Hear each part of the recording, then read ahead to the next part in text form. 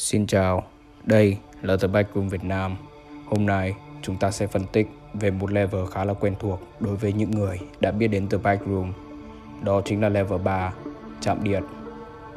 Level 3, Survival Difficulty, Class 4, Unsafe, Unsecure, Medium Entity Count. Level 3 là level thứ tư của The Backroom và là một trong những level nguy hiểm của The Backroom bởi vì level 3 được đánh giá ở mức độ sống sót là 4.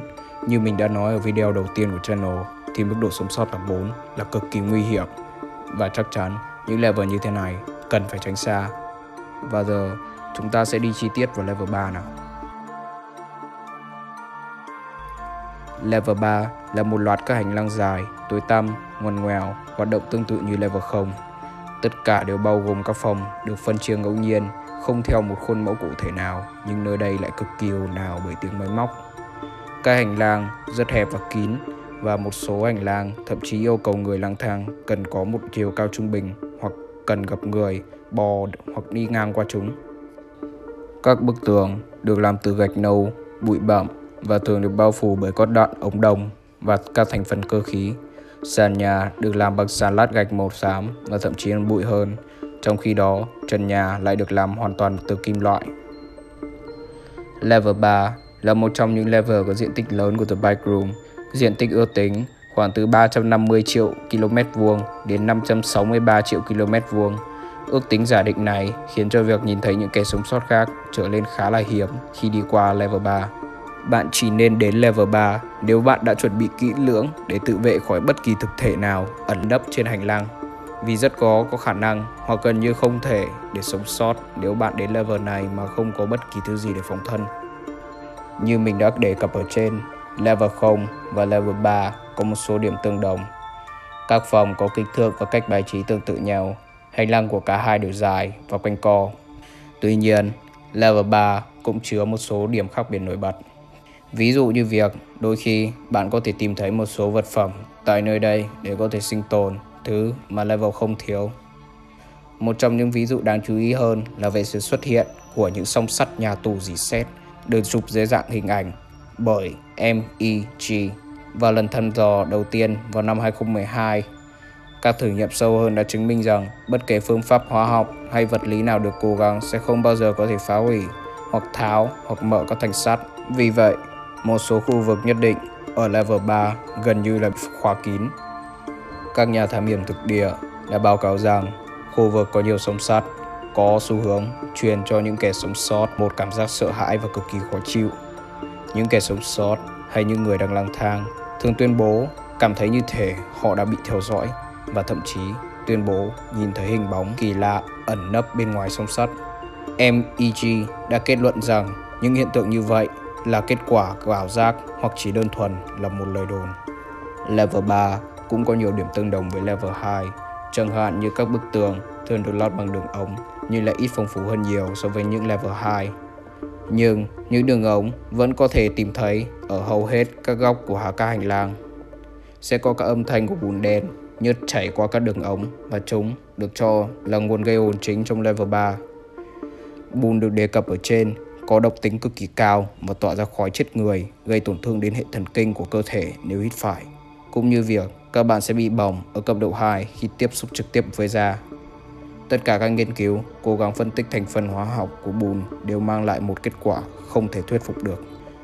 Bản thân điều này lại càng gây trở ngại cho việc nghiên cứu các đặc tính và chức năng tiềm ẩn của chất. Các phòng điện nằm ngoài lề cũng có thể được tìm thấy ngẫu nhiên khắp nơi trên các hành lang của level 3. Nhưng phòng điện này có thể khác nhau về mọi khía cạnh nhưng phần lớn chúng đều cực kỳ tối và chứa một cái máy phát điện duy nhất. Các thiết bị điện hoặc điện tử như hộp cầu dao, máy tính, dây điện, màn hình camera an ninh và đèn huỳnh quang cũng đã được báo cáo. Và giờ, chúng ta sẽ đến với những thực thể thường xuất hiện trong level 3.